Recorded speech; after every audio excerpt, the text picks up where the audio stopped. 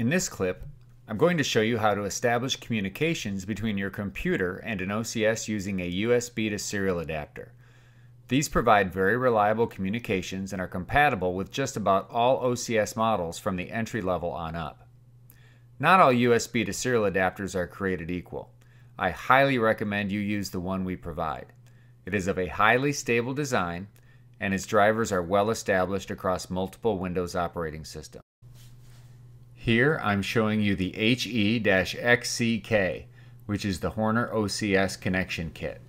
Let's take a look inside the bag and see what we've got.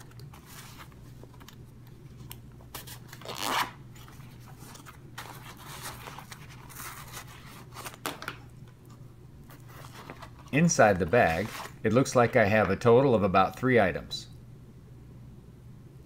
In the middle is the USB to serial adapter itself, And at the top is the serial cable that converts the output from the adapter over to the pinout used on most OCS products.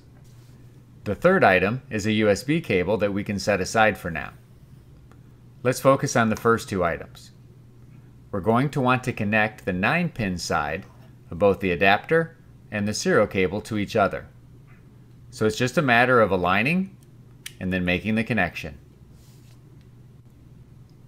So what we're left with is a single cable that has a USB connector end that we plug into our computer and an RS-232 end in the form of an RJ45 connector that we plug into the OCS. It is important to note that this is not an Ethernet signal that runs through this cable, but an RS-232 signal. Therefore, it plugs into the MJ1 serial port on your OCS and not the Ethernet LAN port. Now let's prepare to plug the USB end of our cable into the computer. We should expect that if our computer is connected to the internet, it should have no problem in finding the Windows drivers for this device. Let's see what happens. Sure enough, after only a few seconds, Windows tells me that it is installing the device driver. That's one of the advantages of our USB to serial adapter.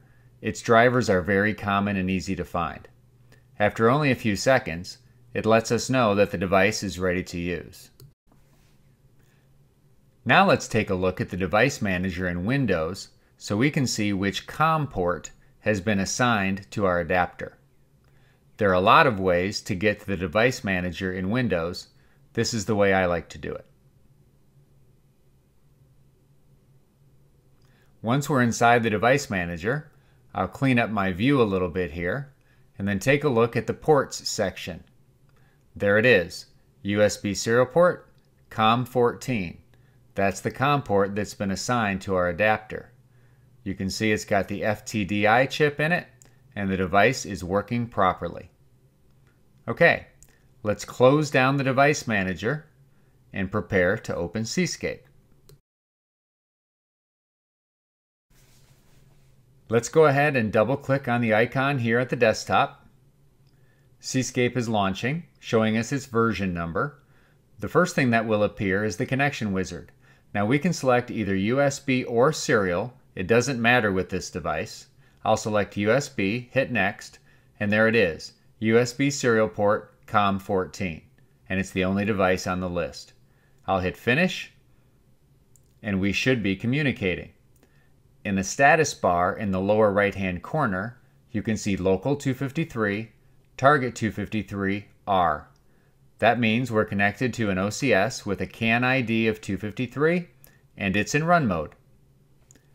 That concludes our clip as we've established communications between our computer and the OCS using the USB to serial adapter.